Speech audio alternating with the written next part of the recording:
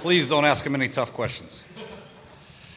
Uh, did not participate with Mo Harris. Uh, concussion still limited with Trent Williams. Uh, we're just managing his reps. That's all. We had to put him down there though. I know he's a practice squad guy, but Kapri Bibbs has he been working? Uh, he's sick. Yes, he's got some bug or something. Um, on the defensive line, what's your ideal vision for that? Is it a rotation? Is it a couple of those guys staying in there for full series? What do you want that to look like? Well, you want to keep them fresh. They're big men, and uh, they played better fresh. But obviously, Payne has uh, proven that uh, he's pretty good, and Jonathan Allen we want to keep in there as much as possible. Matt has come back from his injury. Ziggy, I think they'll be subbing in and out a little bit. Uh, so we have a pretty good group of guys in there. Who, who did I miss? It's one, two, three.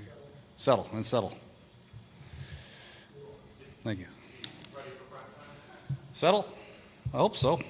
I guess we'll find out. Is uh, Harris going to be inactive on Sunday? Most likely. Harris, what? Is he going to be inactive? Most likely. Well, I don't know yet. We'll, we'll see. He's still in the, getting checked out. I know you guys published unofficial depth chart the other day. Had Danny Johnson as your, your lead kick returner. Is that the plan back there? And uh, how did you guys know when you brought him in that that was something that he could potentially do? Yeah, we knew coming in. We uh, we want to try to address the return situation, and, and Danny and Stroh both uh, had experience returning kicks, so uh, they were high on our list. Danny, luckily, we got him as a priority free agent, and obviously we drafted Stroh. Uh, and then Trey Quinn also had some experience returning punts at uh, SMU, so uh, we kind of addressed that, you know, so we don't have to go to uh, somebody else. When you look at Danny and Stroman as potential returners, is there enough room you think on your, your active roster to keep them both active and have six corners up? Uh, maybe. We shall see. Depends on how many linebackers we keep up and all that. Uh, Chris and Alex were talking yesterday about how important practice reps have been these past couple of weeks because of how the preseason went. How, do, how would you characterize these last two weeks of practice out there? Who said that? Uh, uh, Chris Thompson and Oh, Alex Smith. yeah. Well, I'd like to think every rep's important. We, we have a method for our madness, and every rep we take is uh, scrutinized and coached up, and, and it's the goal is to make us better and uh, and and also work on our conditioning and discipline and all that good stuff. So I think every rep that we take out here, whether it's a walkthrough or a practice rep or individual, is very, very important to our success in the future. So uh, I think uh, the guys have done an excellent job the last two days of honing in on what we're trying to do uh, for the game Sunday uh, and uh, going from there. So we get a good group of practice, a lot of reps, and then watch a film, correct it, and move on to the next day and different situations occur. So it's, it's very beneficial. Um, if, if Mo Harris can't go, would Trey Quinn be that fourth guy most likely? Oh yeah, yeah. Probably be that. He, he- he's done great. And then uh, obviously, Cam has a chance to be up on game day. We'll see. You- Jay, you mentioned the, uh, how many linebackers you may you may keep. You just added another inside linebacker yesterday. Uh, how do you kind of see that rotation, particularly behind the two starters? Yeah, yeah, we'll see. Uh, you know, big thing is Zach's been uh, a little bit banged up with that oblique, but he's been cleared so far. So we uh, want to just add some more for depth with Kais and, and uh, you know, but I think with Zach and Mason, obviously Josh Harvey will play a lot, uh, and and uh, Vigil will get some reps in there, and we'll see about Shaun Dion on teams and all that good stuff. Are you concerned with Zach that this is going to be some lingering issue, or do you feel like it's once it's gone, it's gone? Well, yeah. If we're concerned about lingering issues, then I'd probably wouldn't be able to sleep. So I think uh, I think we got it nipped in the bud. We we gave him plenty of rest. Uh, could be a little painful for him, but he's not on the report, so I think he's good to go. Josh Harvey had, in camp played some nickel linebacker for you guys, and then he obviously went out. Uh, but it looked like he was getting some work with the ones. Is that something that could we could potentially see this year? Him coming in in sub packages because of his ability in, in kind of in college yeah, I think that's why we drafted him because his length and his speed and the ability to cover tight ends and backs, and uh, he's gotten a much done a much better job as far as being in a core and playing in the run game also. So he's not just a pass guy, you know. So uh, I, I, I've been impressed with Josh Harvey. Um, still learning, still getting better, but uh, he definitely has the length to cover good people like David Johnson, possibly out of the backfield, or their tight end Jermaine Gresham, or whoever it might be.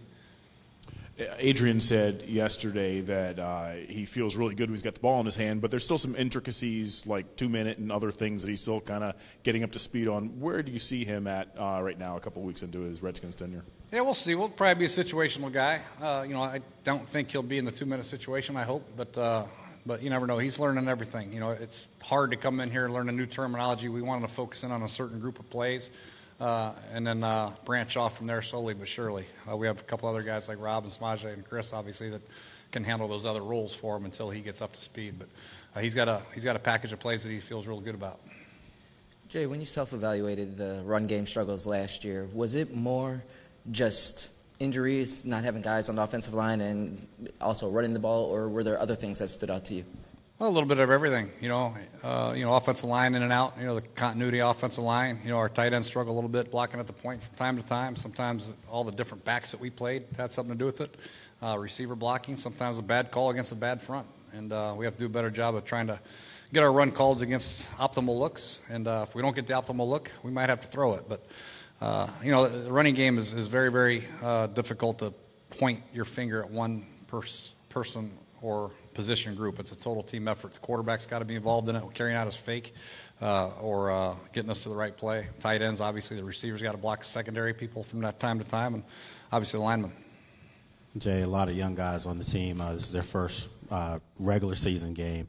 Do you monitor their reps as far as uh, they haven't played a full, you know, regular season game yet?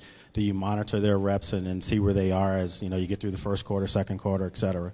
Yeah, we'll see. We'll see how they're doing. You know, it's uh, hopefully the roof will be shut over there and it'll be cool, so that shouldn't be an issue. But I think we're in pretty good shape. But if somebody looks a little winded, that's why we have the good depth. Uh, our backups, defensive linemen, linebackers, safeties, corners, uh, tight ends, offensive linemen, uh, running backs. I think we feel pretty good about our depth and receivers. So uh, we'll keep everybody as fresh as we can.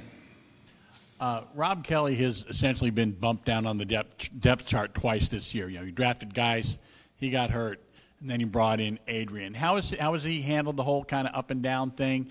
And what do you see his role being, or especially early in the year? Yeah, I think Rob has handled it like a pro. You know, I think he understands that nothing's ever going to be handed out to him. Being a free agent from Tulane, that's what he thinks. And uh, but he continues to come out here and work and produce. So the last preseason game, I thought he was excellent. Um, fighting for his job, fighting for uh, playing time. He did a great job, and he's going to be used uh, without a doubt. Uh, I don't know that extent of that use, but we'll, we'll have to see as how the game goes on. But throughout the course of the 16 game season, I anticipate Rob uh, being a big benefit to this football team. Jay, is there any difference in preparing for a coach who's a defensive-minded coach, or a coach who's been a defensive coordinator, and you know, moving into a head coach? Is there is there something different in the way you prepare for that? No, you know, I just try to find out where they came from, um, what they're good at, what their specialty is, and you study that, and then you have to go on and uh, flip it to the other side of the ball and who's running the show over there, and that's uh, Coach McCoy. So you have to kind of study what he does and, and go from there. But still, there's uh, so much of the unknown. You know, they have a whole off season to watch tape. Being a head coach now for the first time, he might have some new ideas that he wanted to use that maybe Coach Rivera didn't want him to use. So uh, you never know. Same with Coach McCoy. Uh, so uh, it, will be interesting to see, but we just have to be fundamentally sound, and uh, hopefully our uh, X's and O's match up and are sound against whatever they throw out at us. Uh, have you picked uh, captains yet? Captains? No, not yet. Probably do that uh, tomorrow. Are you going to rotate weekly, or do you think you're going to pick a set for? I'll probably pick a set. Maybe have one rotate. Probably pick four and then rotate one. Got it. Thanks, Coach. Yep. All right. Oh.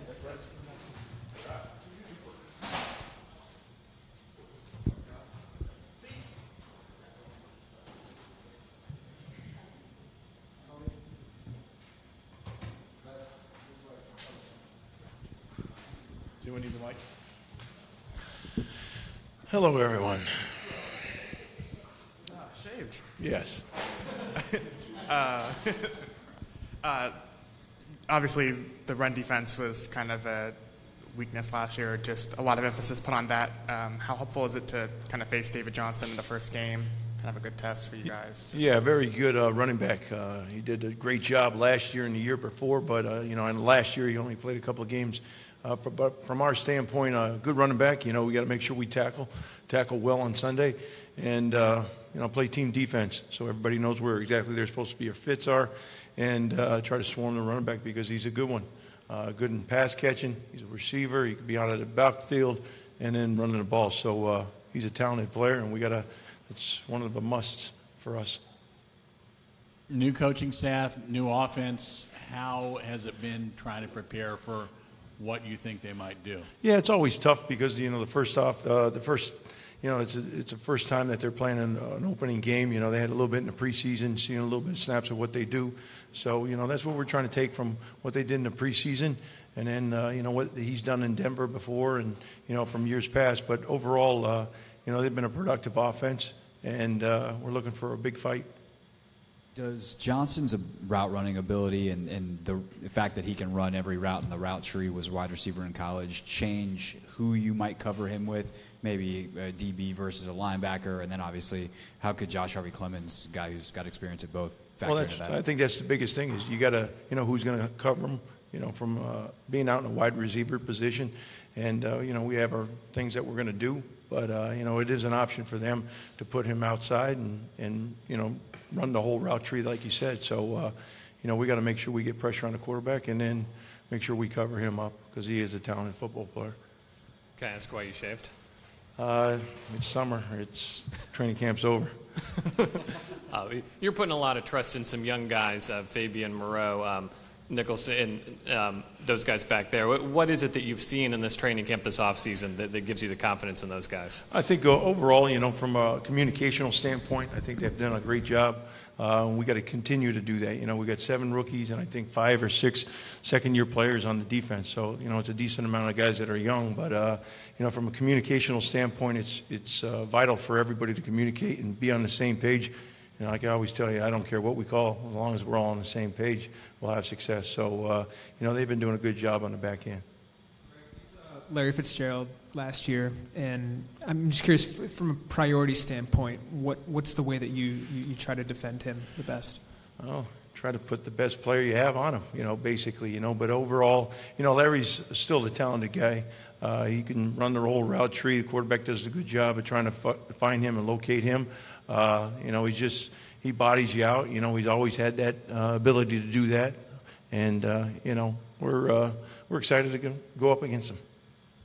Rick, speaking of all those young guys, you know, between the defensive line and on the back secondary, a lot of young guys on the defense. Is there value to that immediately, number one? And number two, um, is there even more value, like looking ahead down the road as far as letting those guys kind of grow together? I think definitely. You know, we got a lot, a lot of young guys on the D line, and even in the secondary. You know, from our standpoint, so we got some young guys that have some talent, and now we got to just play together as a defense and uh, make sure uh, that we bring it on Sunday. Going back a few, ga- a few days ago, you, you guys let go of, uh, of Lanier, a guy who you know had five sacks in basically half a season. Brought in Caleb Brantley. What's your feeling on why that switch was made? Well, the switch was made. I think uh, for right now, you know, with the back and back up in the depth we had at uh, the D line, you know, I think we felt like, uh, you know, Anthony had a chance to make it, and then kind of just kind of fizzled out a little bit at the end, uh, and then we picked up uh, Brantley, who's a, a very good, talented player, uh, and uh, we're excited for him to have him in the building. But uh, you know, decisions are decisions made in this business, and uh, you know, sometimes uh, you got to move forward and move on. Do you think you improved against the run with that? With that? Move? Yeah, I, I think so. You know, I think uh, we're excited to have him here, and we'll see what he can do. Was there ever a notion last week with the whole Khalil Mack thing going on to have Jay call Jon and look into that? Uh, you got to talk to Jay about that. that's that's up to him, not to me. All right, thanks, guys.